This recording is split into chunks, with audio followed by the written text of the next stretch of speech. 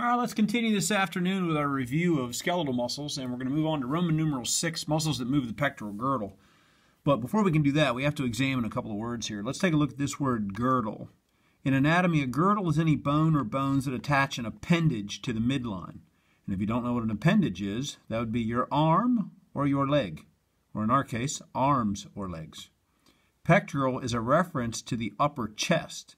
So what this is referencing is either a bone or bones in the upper chest region that attach your arm to the midline. In this case, the two bones in the pectoral girdle include the scapula and the clavicle, and you guys all know that from class from our bone review. So let's take a look at the major skeletal muscles that are going to affect and move the girdle, and then by extension will move your whole arm. Check it out. Pectoralis minor is the first muscle, and let's take a look at it. Okay, and you can see it's actually deep. Pectoralis major, the big chest muscle, is going to be right here. We'll do that one next. But this is it right here. Pectoralis minor. What's minor mean? Small. Pectoralis means chest, so this is the small chest muscle. All right, let's take a look at the origin. The origin is ribs 3 through 5. So there's rib 1, 2, 3, 4, 5. That's the origin. Okay, so that's where it's going to stay still. The insertion is the coracoid process. That's a projection that comes into the uh, comes out of the front of the scapula. Now take a look here. Here's the origin, doesn't move. Here's the insertion. And remember, you don't have to use these three bundles all at the same time. You can use them separately. So we have a couple of different motions that are going to occur. Check this out. Okay, it's going to depress the scapula. Now look, the origin is below the insertion, so it can pull the scapula down. Now, if you're sitting at sitting at home in your chair or at your desk or wherever you're working during this COVID time, just kind of pull your shoulders and just like pull your arms or point them straight to the ground. You don't have a lot of motion there because your rib cage gets in the way, but you can pull the scapula down. The other one is it's going to move or rotate the scapula to the front. As you can see, now you can't see it in two dimensions, but the coracoid process is a little bit behind the front rib attachment. So not only can it pull it down, and actually can pull it towards the front and move your or help move your arms in front of you. Now, this is the cool thing. You guys remember this. The scapula does not have any direct articulations with the midline. So the scapula is freely movable. That's why if you want to use the scapula as an origin, what do you need? Fixators. Well, these are all in place. So watch, if we lock the scapula, then this becomes the origin and this becomes the insertion. What? Yeah, check this out. You can reverse the origin insertion on any muscle that's directly attached to the scapula and it can do other things. It's pretty cool. So what's going to happen? Okay, action. It's going to elevate the ribs. Now look, if this stays still and this muscle contracts, the insertion is going to go up. It's going to elevate ribs 3 through 5. That's going to make the chest, uh, chest cavity larger, and that's what you'd need to do during forced inspiration. And we've seen this before. This isn't somebody uh, telling you you have to come up with a great idea right now. Uh, it's actually breathing in heavily. That's what it is. So that's pectoralis minor. Let's take a look at the next one. Serratus anterior. Now this is a cool muscle. Check this one out. This one looks neat. Here's serratus anterior. Now if you've ever seen a bodybuilding competition and they do that that overall like bicep pull down or the lat and you'll you'll see these finger like muscles sticking out right underneath pectoralis major which is right there. Pretty cool. Let's take a look at the origin. Origin of ribs 1 through 9, and you can see all of those. And it's individual, bun- this is one muscle with individual bu- uh, bundles going out to each rib. Insertion point's got to be somewhere on the scapula. It's going to be the inferior angle, so you can see that right there. That's the insertion point. Here is the origin. Now, what's that going to do? Remember, it's always about positioning. Where's the origin relative to the insertion? So it's right here, and you got some up there. This is going to be interesting. Watch, it's pretty cool. It rotates the scapula up and laterally. So laterally is to the front. So when we say rotation, it'll, it'll go up into the front. This bone will go up into the front. And you can see you have a wide range of motion because of all these individual bundles. Now, this is another one. You can also reverse the origin insertion. So you can make the ribs the moving part, lock the scapula, and then this becomes the origin. If that's the case, then you're going to lift up and out on ribs 1 through 9. Hmm, wonder what that is. It's going to elevate the rib cage during forced inspiration. And, and think, just sit there right now. I know we're not together and I can't watch you, but take a deep breath and just feel and look at what happens to your chest. Take a deep breath, go. your whole chest, your whole body like arches up because you got to make that chest cavity really wide for air to flow and rush in there and get maximum oxygen. Okay, let's move on to the next one. Number three, trapezius. This is the large kite-like muscle. This is a shape word. This refers to its shape, a trapezoid, on your back. It's gigantic. Watch this thing. Here it is.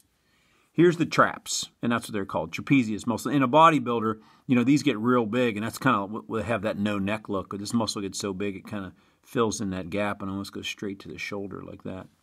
Okay, let's take a look at the origin, and obviously this is a large muscle that can be subdivided. Now, had we got to this on your cat, this is actually three muscles, but uh, sadly enough, we didn't make it through the rest of the cat. Disappointed. Very disappointed. The origin is going to be the occipital bone, cervical 7. So there's actually a space here where it's not touching any vertebrae. Cervical 7, and then T1 through T12. The whole middle of your back. This muscle's gigantic. Okay? Insertion point is going to be the clavicle, the acromion, and the scapula. That's where all of those pieces come together. I'm sorry, the spine and the scapula. The acromion, the spine, it's right on that hard point of your shoulder.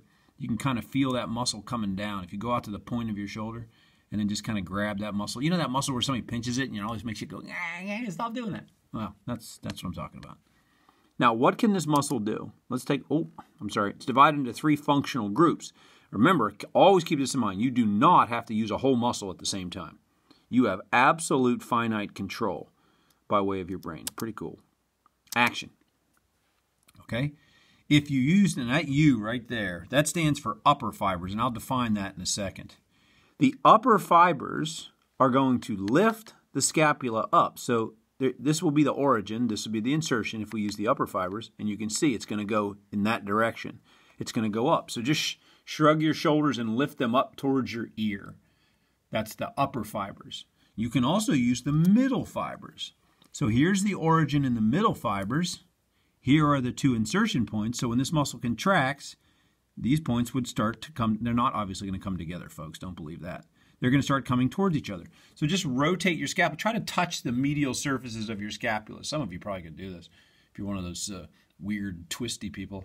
Just pull your scapulas in Adduct means to go towards the midline. Elevate is up, adduct is towards the midline.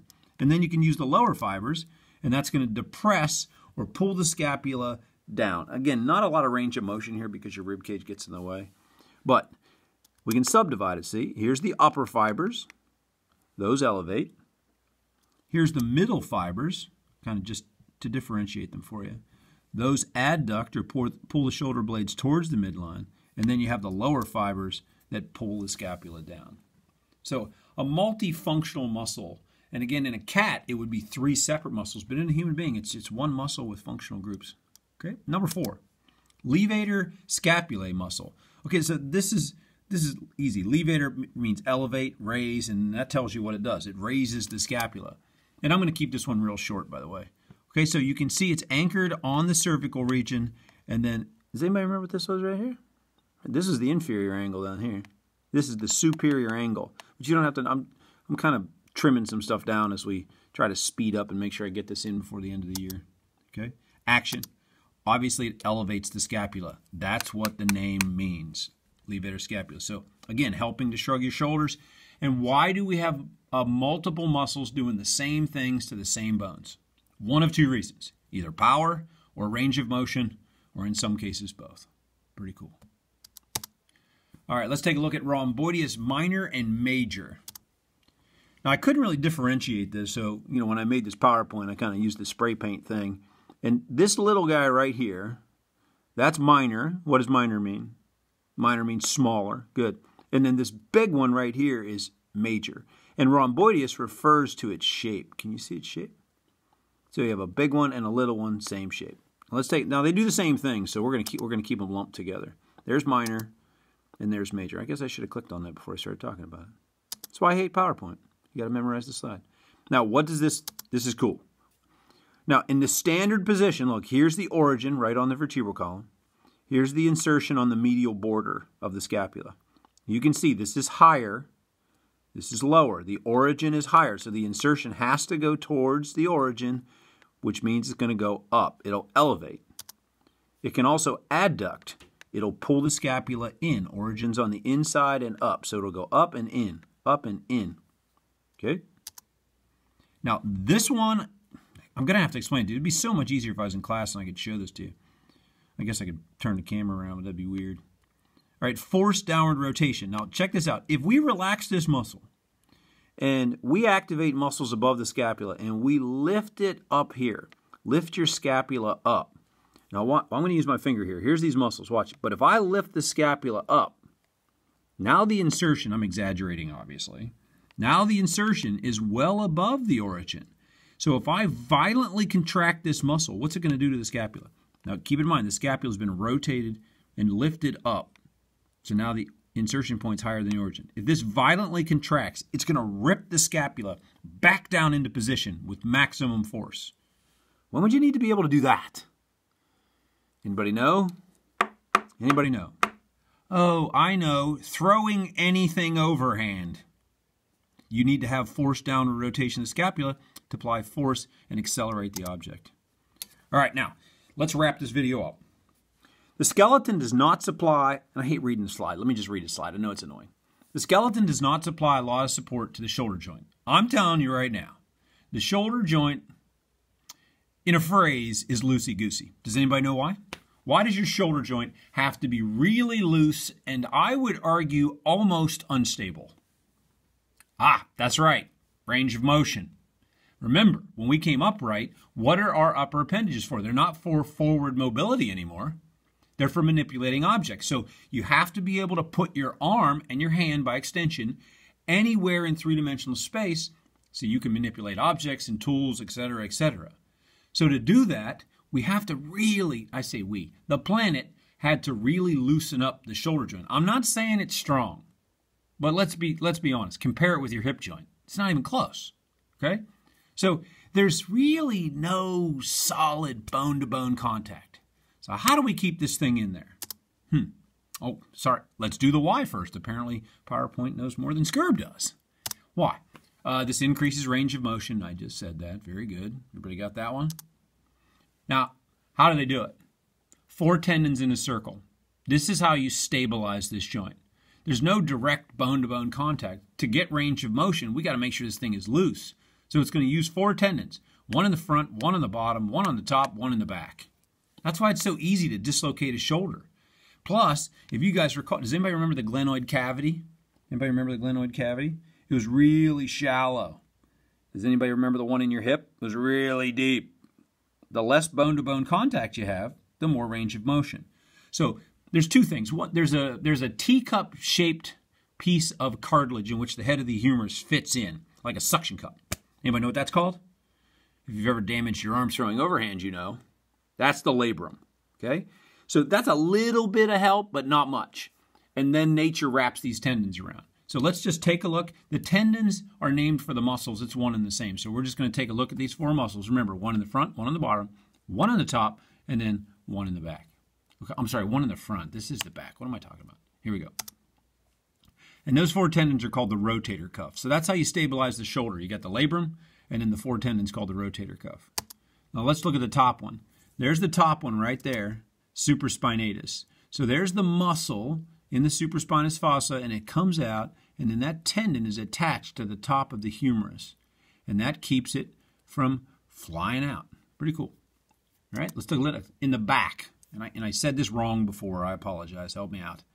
The back one right here is called infraspinatus. And that means under the spine. You can see its tendon comes up and it's right on the back of the head of the humerus. The next one is called teres minor and its tendon is on the bottom. So I got top, back, bottom. And then there's one more in the front called, why is it not coming up? Oh, there we go. Uh, there's one in the front called subscapularis, named after the subscapular uh, fossa. And it's in the front, and I'm going to show you that right now on the picture. You got that note? Got that note? All right, let me show you on the picture. There's the muscle in the subscapular fossa, and it's coming, the tendon comes out right on the front. And that stabilizes the uh, shoulder. And you can see the acromion comes out so that the humerus can't exit out the top. So when you look at dislocations, most commonly, it's because you overextended your arm or you hit the point and you drive it down and out because there's really nothing directly under it. Nothing. Okay? And that is uh, Movers of the Pectoral Girdle. I hope you enjoyed it, and I'll be back uh, videotaping on Monday for our next lesson. And we are zooming forward, and a test is coming. So make sure you're taking notes, make sure you're keeping up, and most of all, have a good time if you can. I'll see you next time, guys. Have a great weekend.